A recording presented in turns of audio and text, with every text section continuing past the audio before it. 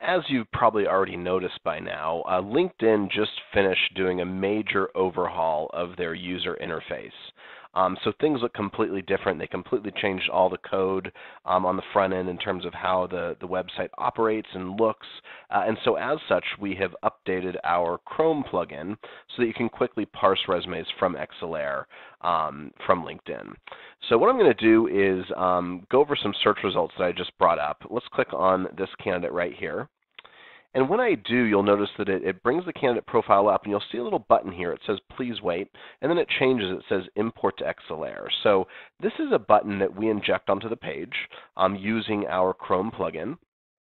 And this button will actually change depending on whether or not this candidate already exists in your database or not. Um, I know that this candidate does not already exist in my database because the button says import to Exelare uh, it would say open or update Exelare if the candidate was already in the database. So let's go ahead and just click um, import Exelare.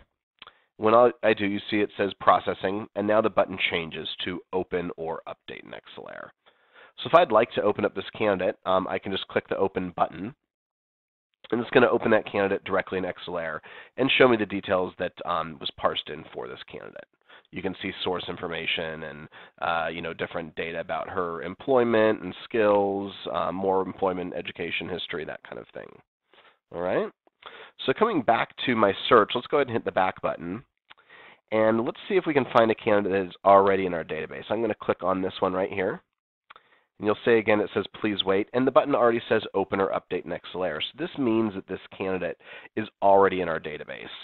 So I have two or three options here. I could just say open to open up the profile in Exelare and review the details. Or I could say update in Exelare, meaning it's going to automatically update this candidate with the most re recent information, or it'll kind of override certain details. Or I could choose advanced update in Exelare. If I do this, it's going to open up a window that's probably familiar to most. Um, let me maximize this. So what it's doing is it, it's showing the details of the candidate profile on the left. And it's also showing you the different fields that it's parsing in from this candidate's profile right now. Details like where they work, contact information, etc. When I click Next, it's going to do a comparison between the duplicate record already in the database and what we're parsing in. So this is what we're parsing right now. You'll see that these uh, the company name is different than what we already have in the database. Uh, same with the uh, the job title is slightly different uh, compared to what we already have in the database. So I've just selected the two uh, fields that have changed, and I'm going to merge the candidate with the existing candidate instead of creating a duplicate. And I'm going to click Next.